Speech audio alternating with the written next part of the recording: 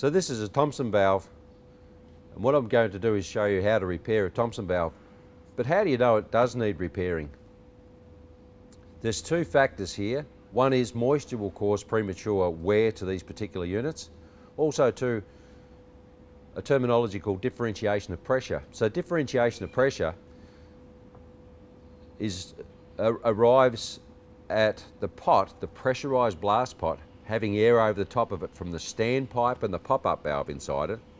If the pop-up valve doesn't seal properly, you have air escaping from the top of the pot. So therefore the pusher line air that comes down to the Thompson valve, which is on one of these threads, when the air comes down, it's different to what's been pushed in the pot. So the pop-up valve's not sealing, the air pressure is different in the pot to what is coming down the pusher line.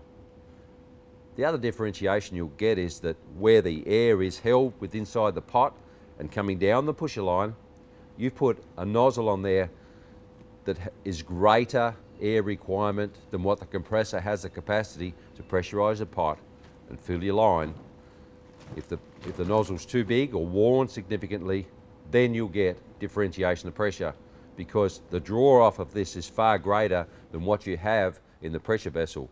So the differentiation is what the pressure vessel is holding, what's coming through the pusher line, and what's been exhausting. So the exhausting side of it is far greater than what the pressure side of it is. So then you'll get a differentiation of pressure.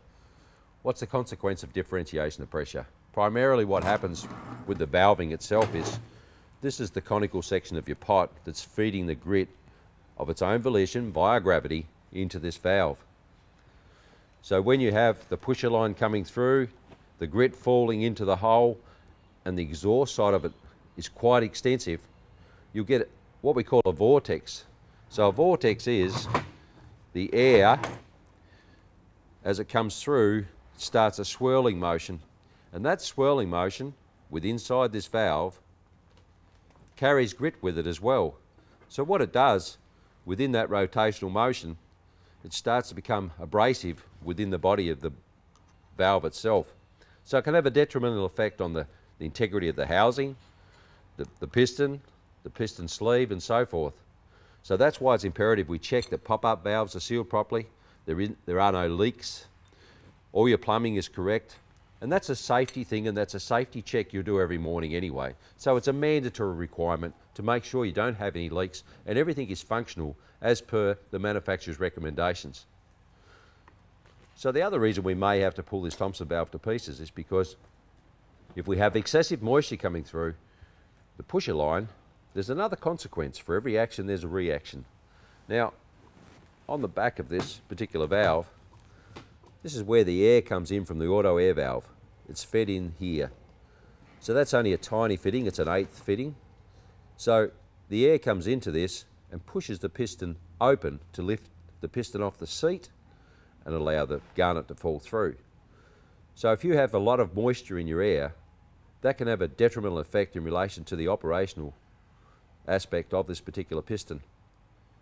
And again, if you've got dust within your grit, if your garnet's been reused, you expose this to fine particles of grit coupled with moisture can accumulate inside this particular piston and cause it to jam or stick, but not only here, but also in the main piston functionality as, as well.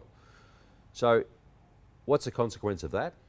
Primarily the piston in here jams. It's stuck. It's stuck in the sleeve.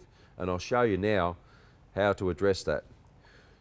So remember when we were talking about the auto air valve, the pilot valve, and if we check after the auto air valve by depressing the dead man to see if there's any air coming out, and there is, and I said that this may be jammed, now I'm going to show you what you're looking for in relation to repair and checking the functionality of this particular valve.